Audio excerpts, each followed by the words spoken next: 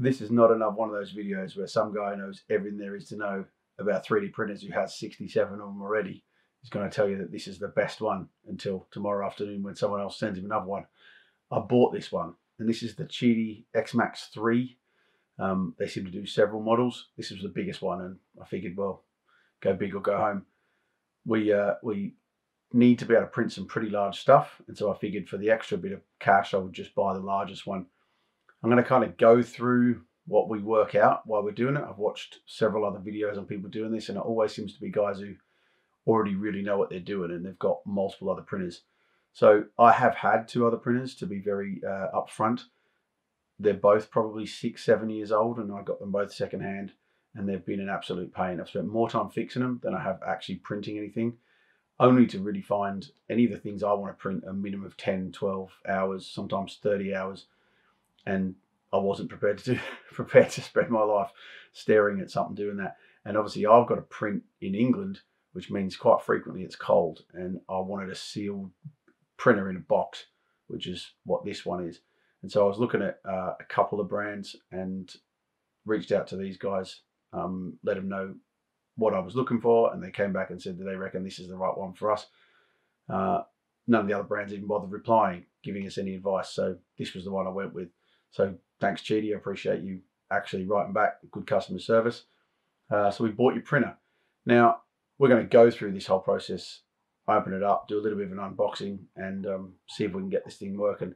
We're not going to probably do the standard benchy type prints. We'll do some of the things that we're planning on on printing, so you can see something a little bit different. Now, will we do a benchy? Maybe, because apparently one of these can do it in like 19 minutes, where my old printer said a benchy was going to take like seven and a half hours, and I wasn't going to do that for a boat. I was going to put in the bin or melt down to be something else.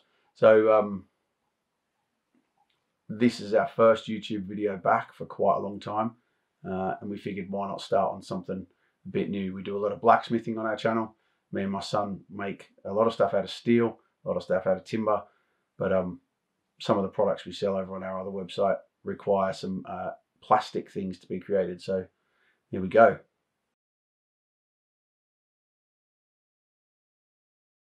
So while I fast forward through all this video, I thought I'd basically let you guys know where we came to. So it's been about a year since we bought this machine, uh, about a year since we started putting this video together.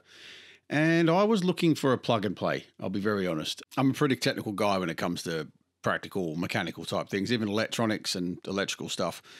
Just when it comes to the back end, like programming and the software side of stuff, I've never been able to master that. I just suck at it. And this wasn't helpful. Now, half the reason I struggled with my old printers so much was because uh, they, they kind of required a lot of fettling and messing around. I wanted this one to be very much plug and play, which it was sort of touted as that.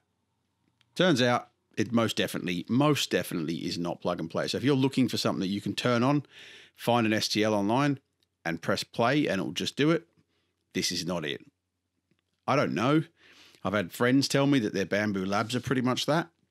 They are friends who have had 3D printers before. This is not that. Uh, from a guy who just wanted it to work for his business, just turn it on, same as I would with a, a drill or a power hammer or a whatever whatever other tool, a grinder, I could just assemble it and start using it.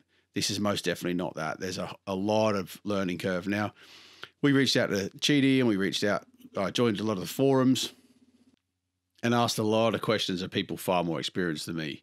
Now, I went through the entire process of setting this up, followed the instructions, which seemed very uh, counteractive of themselves. So there's a lot. Of, it tells you to do certain things that when you try to do, it doesn't work that way online. It just physically isn't like that.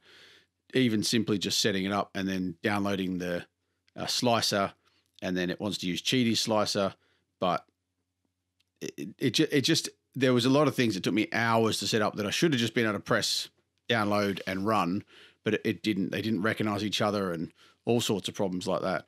Um, now, eventually got through all of those problems and found it sort of relatively easy then to drop an STL into the slicer, uh, slice it, and then send it off to the printer. Connecting them both to the same Wi-Fi network allowed me to just basically press go. Once I found the Fluidd uh, the Fluidd sort of system, it meant that I could I could sort of watch it in real time what, what was going on. And now I've added the camera, the Qidi camera to it. I can actually physically watch it as well as just watching what it's supposed to be doing. Because sometimes I'd walk off and it wasn't doing anything. Now you can see from some of these videos that have been running currently, adhesion was instantly a problem. Now, one of the things they tout this as is it's supposed to be have perfect adhesion. I did all the things in the first few runs that people told me to do: cleaning it with isopropyl alcohol, cleaning it with soap and water, cleaning it with demineralized water, blah blah blah blah. But they give you a print stick, a glue stick with it, which to me tells me they don't actually expect it to stick. They've got no intention for it to stick because they give you the glue stick. So I now use glue stick all the time. There's no absolutely no point in doing it. Once in a blue moon, I go back and try it again, uh, and it never never sticks well. Now, even with the uh, glue stick, this thing has heaters and fans and all sorts of stuff in it. One of the first things it tells you when you start printing is don't run it with the box closed, which I found pretty funny because uh, they say it'll overheat and it won't work right. I thought the entire point of it was and the fans and all that sort of stuff was it was basically a completely self-controlled unit and you just turn it on and it would modulate essentially to keep the temperature where it should be but that isn't correct at all. You've got to have a quite a significant amount of control over what's going on. So uh, yes it was a, li- a little bit of a, a fun and there's been a lot of backward and forward. So everybody has their own opinion of what's wrong.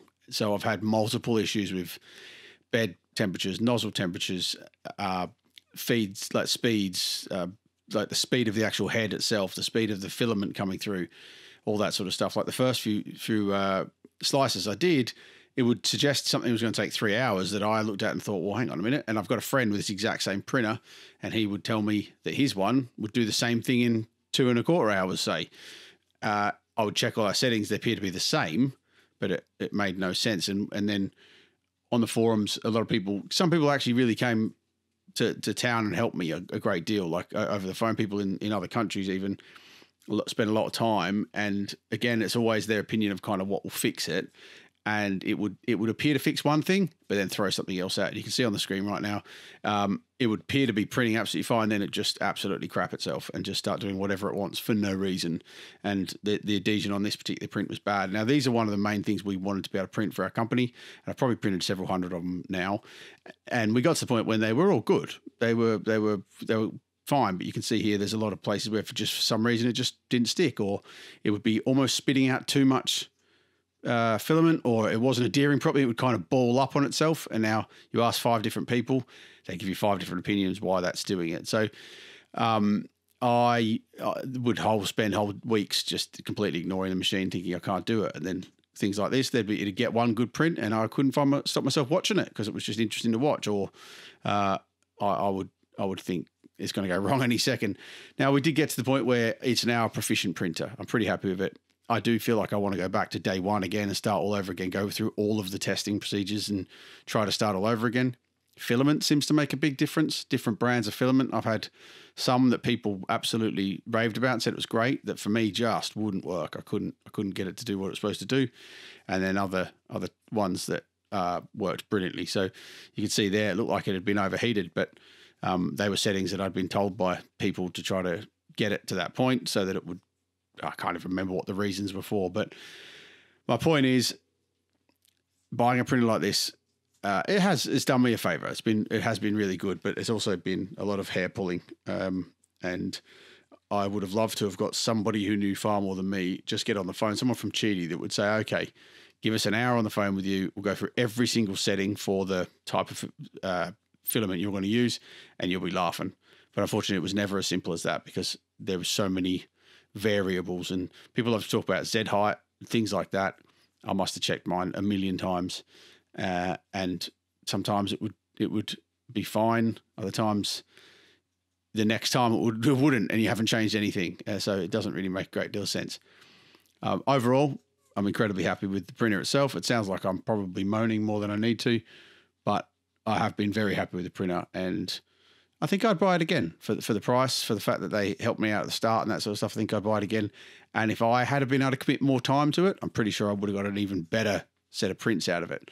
Um, just the I knew from day one I didn't have the time, which is why I didn't buy a 200 pound printer. I bought a thousand pound printer at the time because I wanted something that was more plug and play.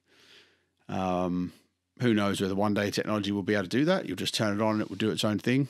And its connection to the internet and all that sort of stuff will be able to self calibrate and self Z height and self adjust. This thing's able to test all that, but you have to still set your Z height with a piece of card, which I find quite Neanderthal, really, considering all its capabilities.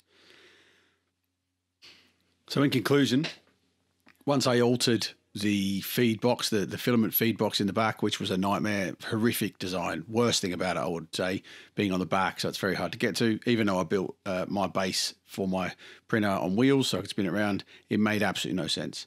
So I bought a, uh, a feed uh, roll that is also a, a dehumidifier or dryer and then put some new Bowden tube on it, which I figured about just under a meter is the maximum you can put on there. You, any more than that seems to bind up. But once I did that, separated it up uh, and found a sort of, uh, sort of final place for it, and kind of fixed a few of those little issues. I've I've had no problems yet. Now, like I said, I've been running it a year. I'm just bought new nozzles for it now. Uh, finally got a blocked nozzle, and that was from messing around with that Bowden tube actually, and haven't been able to clear it properly. So I've just bought some more, but I don't think that's too bad. Um, you can do with lubing them pretty frequently, but any mechanical uh, mechanical thing should be up kept like that. So, like I say, my my uh, sort of final thoughts on it is: Would I buy it again? Yeah, hundred percent would buy it again. Is it worth the money? Yeah, especially as they've dropped the price significantly since I bought it. Uh, if you knew a little bit more than I do about the back end of this sort of stuff, or you're a bit more technical, uh, a bit bit more able to understand kind of how it's talking to the computer and all those sorts of things, I think you get far better use out of it than I would and far better technology out of it. Now, will I buy another one? Probably. There's a point once we've there's a few other tools we need beforehand. We'll upgrade this one to something that is more uh, more capable of just doing it without me having to get involved at all. Potentially, yeah, in the future. But um, thanks for watching. It's uh, it's it's definitely been a, a good addition to our workshop, and uh, hope if you buy one that you find it the same.